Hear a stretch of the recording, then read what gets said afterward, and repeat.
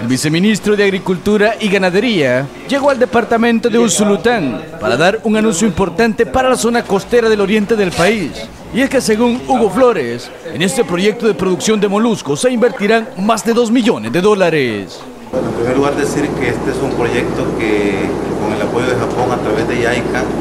el Ministerio de Agricultura y Ganadería a través de Sendepesca estaremos ejecutando un monto de 2.5 millones de dólares va a beneficiar a cientos de, pescadores de la zona eh, que están organizados en diferentes cooperativas que eh, Sendepesca ha venido acompañando en los últimos meses, pero que dado yo diría el éxito que está teniendo este tipo de, proyectos novedosos para la pesca y agricultura en el país, esto nos va a permitir entonces eh, ampliar instalaciones, ampliar estos laboratorios, ampliar la, eh, la producción de pasar de un millón a cinco millones de semillas, eh, de ostras, de conchas. Este proyecto tendrá una duración de tres años y lo que buscan en esa cartera de Estado es que los pescadores artesanales tengan más oportunidades para ofertar sus productos. Eh, y por supuesto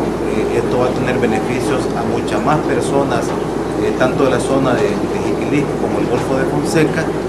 y que tal como lo comentamos en el recorrido, esta es una apuesta importante en el marco del plan de agricultura familiar, puesto que la acuicultura también es otra fuente, eh, no solamente para la seguridad alimentaria de la población, sino también para generar ingresos en miles de familias que estarán siendo parte de, esta iniciativa, que de hecho ya eh, están participando, pero que con este proyecto nos va a permitir eh, ampliar a más cooperativas, pero también nos permite fortalecer de pesca, puesto que se equipará, digamos, con, estos laboratorios, se van a ampliar estas instalaciones. Esta iniciativa funciona gracias a la cooperación internacional y el representante del JICA dice estar satisfecho, ya que se está logrando explotar en gran medida todos los recursos naturales que adornan nuestra zona costera.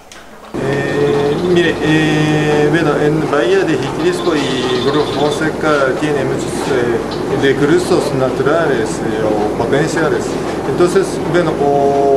utilizando estos recursos queremos brindar nuestra cooperación técnica para que, bueno, para contribuir a la gente de comunidad que genera sus ingresos